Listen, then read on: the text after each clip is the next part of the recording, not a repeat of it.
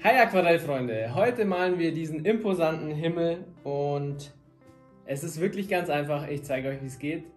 Und wir fliegen einmal über das Bild drüber, damit ihr die Details sehen könnt.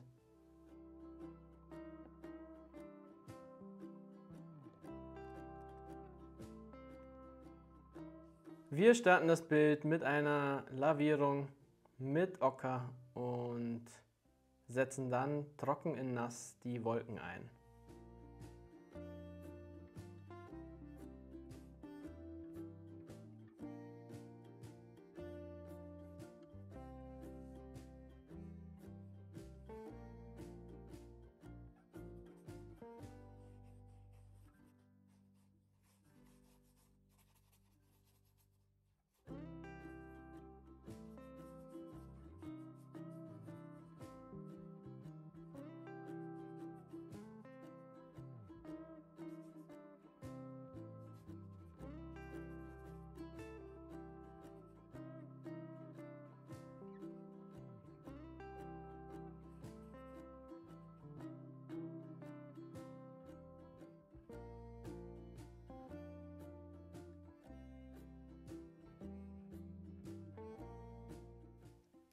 Im unteren Bereich verwende ich trocken in nass ein wenig grün, zum Beispiel Undersea Green von Daniel Smith oder auch Grüngold, um die Landschaft äh, nass in nass anzudeuten.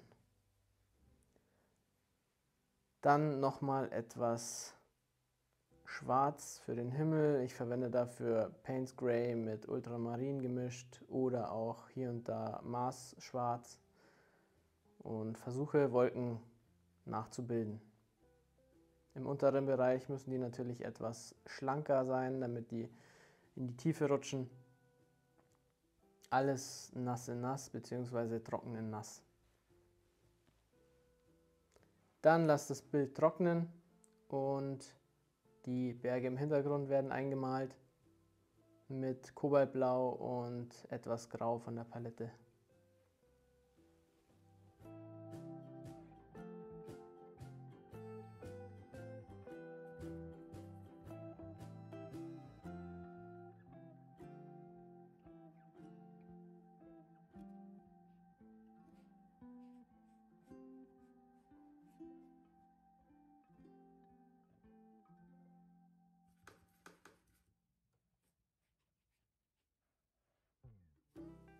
Wie ihr seht, bin ich jetzt unten bei der Landschaft angekommen und versuche mit einer Abwechslung aus Schwarz- und Grüntönen die Landschaft zu simulieren.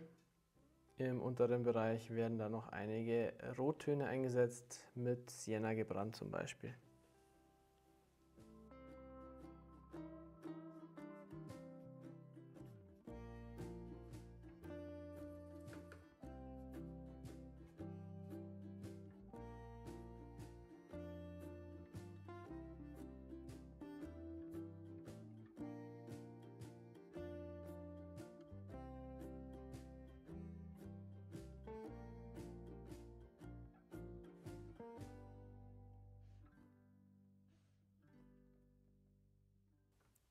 Ich lasse das Papier komplett trocknen und feuchte es dann nochmal an, um den Himmel noch etwas zu vertiefen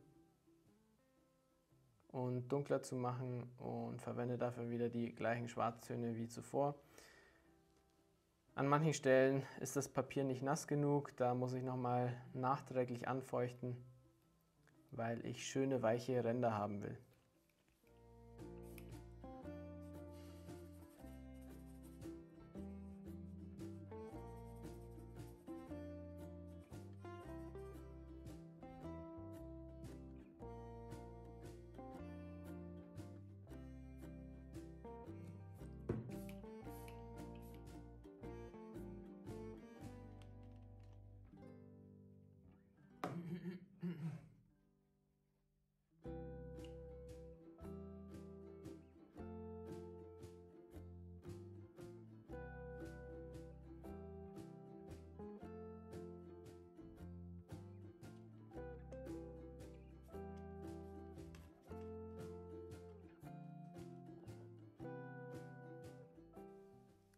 Jetzt befasse ich mich weiter mit den Bäumen und verwende dafür Linierpinsel und versuche die Äste so gut wie möglich nachzuahmen.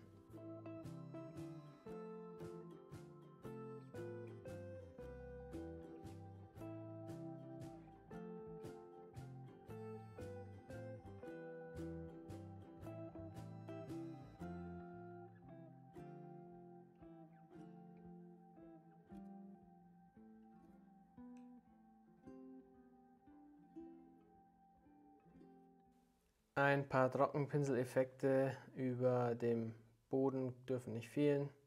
Ich verwende dafür Undersea Green von Daniel Smith und auch im vorderen Bereich mit Sienna gebrannt ein paar Texturen.